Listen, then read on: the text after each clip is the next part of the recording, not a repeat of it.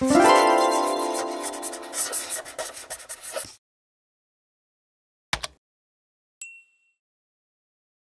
I recently made a video in Blender showing how to see the poly count, and you can do this in Maya also. So if you look right here in my top uh, left hand of the viewport, I've got verts, edges, faces, tris, and UVs counted.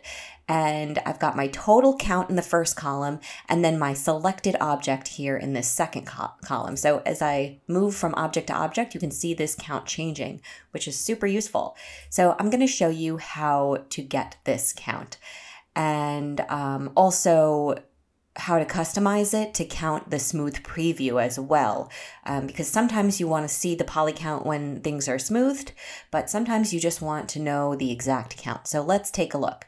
Uh, if you are in modeling, go up to display, go to heads up display, and then down to poly count. So mine is checked off, yours may not be. So if yours looks like this, heads up display, poly count. Check that on and you will see it. So now you can go from object to object and you'll see this this object here has very low faces, which is great. Um, faces include quads, tris, and n-gons.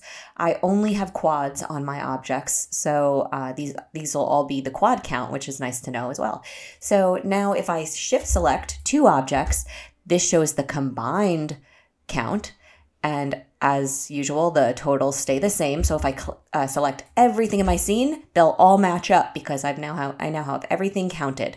So um, this is really cool. But what if I want to see a count for smooth preview? So right now this object is not smooth, but if I hit three on my keyboard, you see it smooths out and these numbers become much higher. That is also useful if you plan on uh, applying some smooth to your object, um, but yours may not be updating. So I go back to one and it goes back to the original count. One on my keyboard, it goes back to the original count.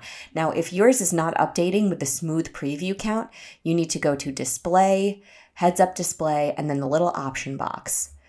And that is the smooth mesh preview option here. There's just two. So Cage will give you the actual amount apply and close. So if I now I smooth preview, nothing changes. My uh, numbers are just staying the same. But if I want to see a higher count when it's smoothed, I need to check that on. So that's it. I hope this helped you guys and I'll see you in another video.